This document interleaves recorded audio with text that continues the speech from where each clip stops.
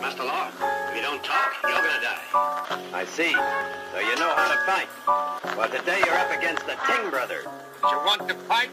Fight with me.